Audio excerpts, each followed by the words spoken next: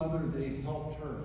She paid it back and helped them. Brad told us that he was with dad and that he borrowed a car for a week one time. And when he returned the car, he had changed the oil, replaced the bad tire because it was showing metal through the tire, and it spoke, spoke volumes of his character. Brad also pointed out that he would never talk bad about other people no matter what. If he had a problem, he went straight to him, told him what his problem was. Now let's talk about Dad's third family. Married to Roya on February 14, 2004. Roya had two kids prior, Sarah 1983 and Cole 1998. And once again, treated them as his own. He would meet Roya to take her to lunch all the time when she worked at the library, promptly at 1234, which they used to refer to as 1, 2, 3, 4 o'clock.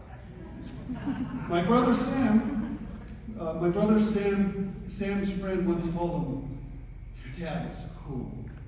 It's like, yeah, yeah, dad was cool, and he'll, he'll be cool forever. He's always been cool.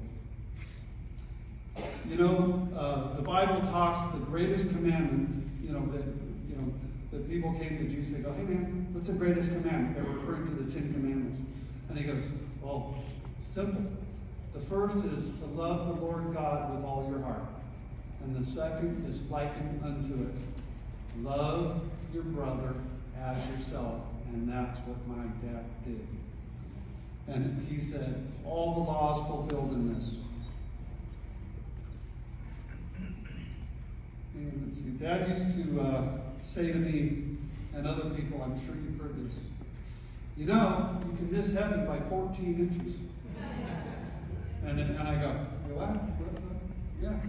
You know it up here, but you never had it in here in your heart. You never had it in your heart. So you can miss heaven by 14 inches. You can kind of know, yeah, I know stuff, but you, you've not taken Jesus into your heart. I want to share with you the parable of the vineyard. When they ask Jesus about heaven, they go, hey, what's heaven like? And he goes, all right.